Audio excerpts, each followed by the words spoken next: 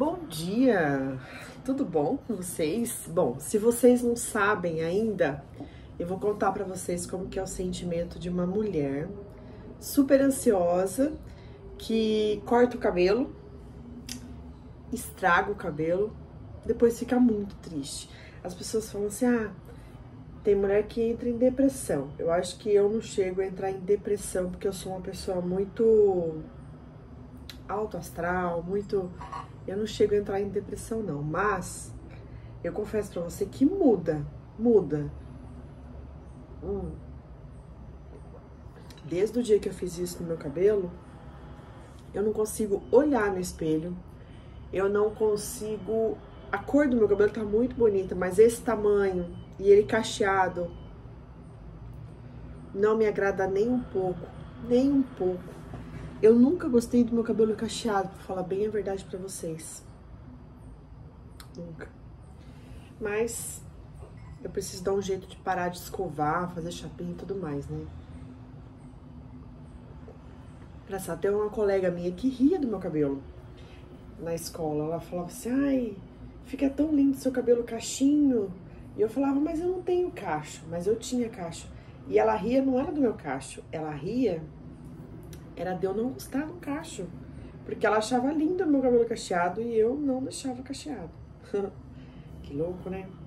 Bem, então como que é o sentimento de uma pessoa que fez isso com o cabelo, mas não gosta desse tipo de cabelo?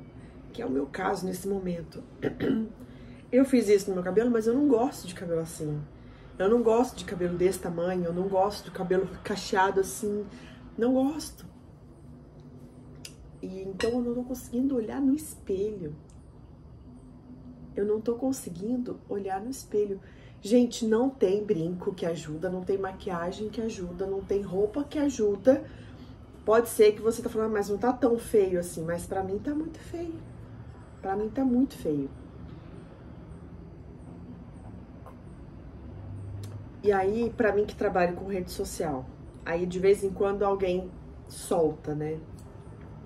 Putz, que cabelo feio. Gente, isso aca acaba com o meu dia. Então, quando acontece isso comigo, assim, de eu ter feito isso com o meu cabelo, que de vez em quando eu faço isso, é lenço, escondendo tudo o meu cabelo. E aí fica menos feio, dá pra mostrar o cachinho, entendeu? E aí é, é lencinho. Eu boto o lencinho assim, puxo, sabe? Deixo assim, dou aquela ajeitadinha assim.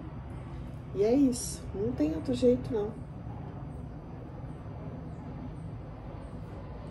E aí eu fico usando lenço até meu cabelo voltar num tamanho bom. Se eu fizer escova nele, ele volta num tamanho legal. Mas é que eu não quero. Sabe quando você não quer ficar fazendo mais escova? Eu não quero ficar fazendo mais escova por conta do.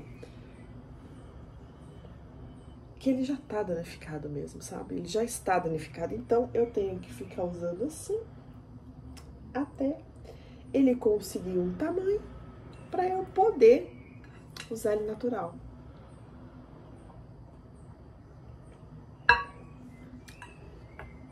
É isso. E aí eu, eu olho, eu olho no espelho e fico, nossa, como eu tô feia, como eu tô velha, que isso, que aquilo. Mas não é. É só meu cabelo que não tá me agradando mesmo. Bom, chega de lamentação. E cabelo é aquele negócio, né?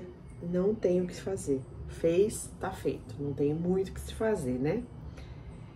E é isso. Vamos ler nossos minutos de sabedoria do sábado? Bora? Isso aqui tá o livrinho, né? Minutos de sabedoria. Eu não sei se vocês já adquiriram desse livro aqui, mas ele é bem baratinho, é um livro de bolso. Eu tive um sonho essa noite, eu tô com esse sonho na minha cabeça. Lembra da seletiva que eu falei para vocês que que eu fui reprovada? Tá, ontem eu fiquei olhando no Instagram e eu achei o Instagram de uma dessas pessoas que participou dessa seletiva comigo. E essa pessoa tá fazendo algumas. Tava fazendo alguma. E eu olhei stories dessa pessoa. Tinha, ela tava escrevendo algumas coisas e tudo mais. eu li o que ela estava escrevendo, isso me deixou impressionada. Eu falei, será que ela está aprendendo isso lá? E aí quando foi de noite eu sonhei, aí eu sonhei com os médicos, né? Eu sonhei que eu chegava na sala, né? É... Era, era um trabalho de nutrição num hospital super renomado aqui em São Paulo. E aí eu cheguei lá, o médico falou assim pra mim, mas essa calça azul aí, você não, você não deveria estar com essa calça azul, é branca. Aí eu falei assim, não, mas é que eu sou nutricionista e não me passaram ainda que eu preciso ter calça branca. Aí ele pegou e falou assim, mas eu acho que você como nutricionista deveria saber que nutrição hospitalar a calça é branca. Aí eu falei assim, não necessariamente, doutor. As meninas ali, por exemplo, estão de pijaminha azul e as outras ali da pediatria estão de rosa. Ele olhou para minha cara e falou assim: Você já pode dar meia volta e pegar suas coisas aí. Eu falei: Mas por que eu tô, fui contratada? Ele falou assim: Não, é porque eu não fui com a sua cara. Pode ir embora. Aí eu não fui embora. Aí eu fiquei por ali, assim, fiquei num quartinho fechadinho, assim, como se eu ficando num quartinho fechadinho eu fosse mudar alguma coisa. Ele já tinha mandado embora, ele não gostou de mim. E eu achei que se eu ficasse lá quietinha e aparecesse depois, eu ia mudar a situação.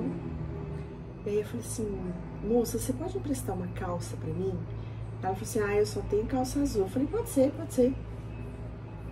E aí, aí eu não sei mais, eu sei que eu peguei, coloquei, eu lembro do quarto certinho que eu entrei, que eu fiquei esperando tudo, mas eu não lembro mais. Doideira, né? Você tá vendo como é que as coisas impressionam a gente? Caramba. Vamos ler nosso minuto de sabedoria do sábado. Que dia que é hoje, meninas? Dia 9? Acho que é dia 9, né? Dia 9, sábado. Vamos lá. Acenda sua luz interior, a luz da sabedoria e da bondade.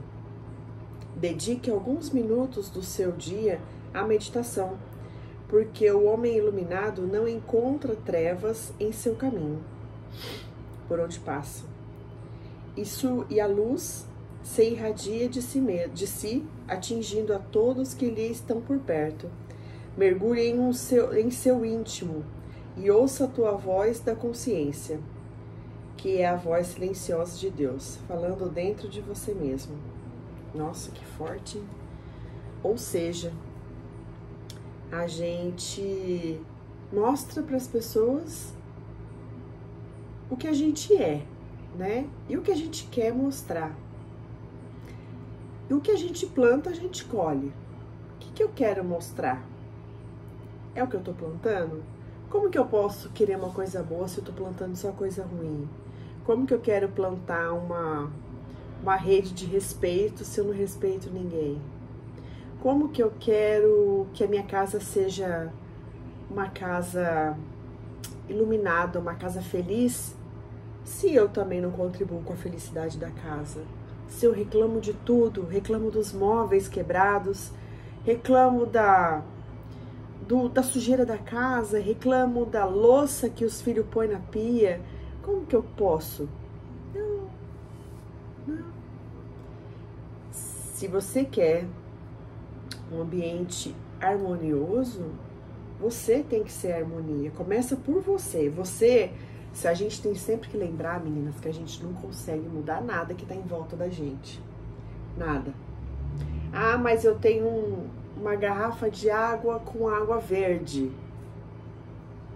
O que, que você pode fazer para essa água ser água normal que você pode beber? Você não pode fazer nada, a água vai continuar sendo verde. Mas você pode mudar o seu pensamento em relação à água. Poxa, que água bonita. Eu acho que eu vou colocar ela num vidro mais bonito e vou deixar ela de enfeite aqui. E essa garrafa PET eu coloco na reciclagem. Ah, eu tenho uma banana estragada ali na minha casa, só tem banana estragada. Que tal você fazer um doce de banana? Banana estragada, isso significa que ela tá preta.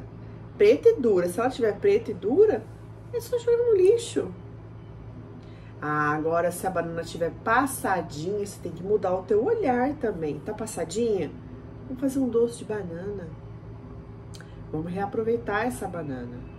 Ai, não tô nem aí, não sou eu que compro a banana, então vou jogar tudo no lixo. Ah, então você vai jogar comida no lixo. Como você quer ser uma pessoa harmoniosa, uma pessoa de, sabe, uma pessoa que transcende a sua luz jogando comida fora. Sabe, tem coisas e tem coisas, entendeu? A, maçã, a, a banana passada, vamos jogar no lixo. A banana tá estragada, dura, é lixo, não tem jeito, é lixo. Ela desaparece. A banana que ainda dá para usar, vamos fazer um doce de banana. De vez em quando não dá vontade de comer um docinho, um docinho saudável de banana, sabe? E é isso, se a gente quer um negócio, a gente tem que dar o primeiro passo, gente. E o primeiro passo, eu sei que o primeiro passo é o ó. Eu sei que é o ó, mas a gente tem que dar. Eu vou contar para vocês a história da minha filha. Eu sou uma pessoa que tive muitos filhos, né? E não tive nenhuma rede de apoio. E era para eu ser bem amarga, né? Bem uma mulher bem tristonha, né? Nada contra as mulheres amargas, tá? Que as mulheres amargas só são amargas porque a vida fez isso com elas. E aí eu queria que meus filhos fizessem as coisas em casa. Como que eles iam fazer as coisas em casa se eu também não fazia? A partir do momento que eu comecei a deixar tudo limpinho, tudo cheirosinho, quarto limpinho, quarto cheirosinho, cada um arruma seu quarto. Cada um dobra sua coberta. Eu não preciso falar um A. Preciso. Eles vê harmonioso no meu quarto, cheiroso, eles fazem no quarto dele para ficar igual. Ai, que gostoso o quarto da minha mãe. Fazer no meu também. É assim. E é isso, gente. Eu quero desejar para vocês um ótimo sábado, cheio de coisas boas, energias melhores ainda. Um grande beijo. Tchau. Amo vocês. Ui.